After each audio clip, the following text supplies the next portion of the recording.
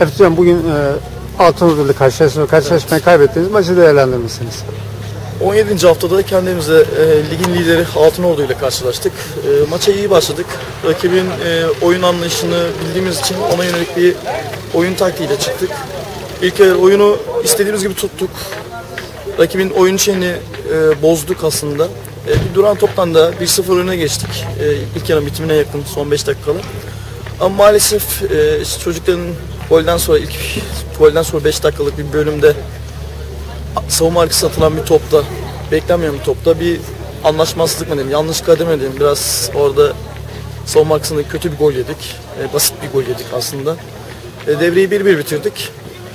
E, ikinci yarı oyun sistemini artık rakibin yorgunluğuna göre de taktiğimizi değiştirelim dedik. Tam o sırada e, duran toptan maalesef bireysel hatayla beraber ikinci gol yedik. E, tabii biraz kopma oldu arkasından üçüncü gol yedik. İyi oynadığımız maçı maalesef işte penaltı kaçırarak da e, iyi oynadığımız maçı maalesef bireysel hatalarla, hatalarla diyelim. E, maçı verdik. Sonuçta ligin lideri ama ne kadar şey olsa da iyi oynadığımız maçta böyle bireysel hatalarla maçı vermemiz gerekiyordu. E tabii bunlar bu yaş grubu tecrübelenecek. Hata yapa yapa öğrenecekler ama bu 17. haftada şu ana kadar yediğimiz goller hep aynı bireysel hatalar. Hani bir, bir şeylerin gelişmesi lazım. Onun yönelik çalışmalarımızı da yapıyoruz ama hala o şeylerde bir sıkıntılar yaşıyoruz.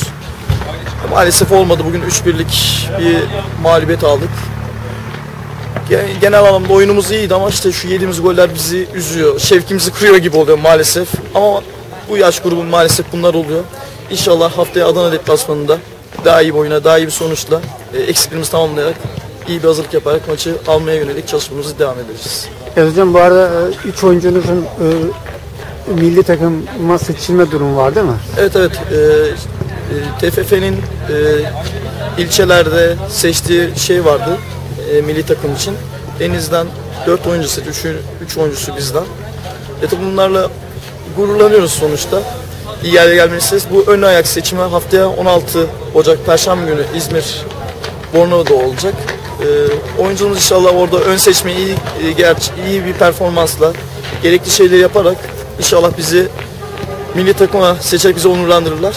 E, yapabilecek kapasiteleri var. Tabi heyecanlarını yenerlerse orası farklı bir şey. İşte heyecanlarını yenerse gerektiği futbolun gerektiği şeyleri yaparlarsa neden olmasın. Yaparlarsa bizi çok memnun ederler.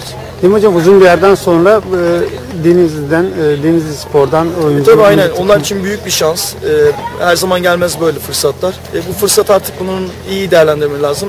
Çünkü seçildikten sonraki e, önünün açılması daha farklı olacaktır. İnşallah o bilinçle, o şeyle hareket ederler. Denizspor adına çok güzel olur. E, Zaten hedefimiz bu. Milli takımlara, A takımlara, profesyonel takımımıza ye- yetenekli, e, elit seviyede oyuncuları kazandırabilmek, özel oyuncuları kazandırabilmek.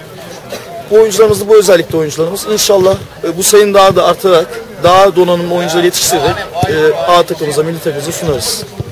Teşekkür ederim hocam başarılar. Ben teşekkür ederim.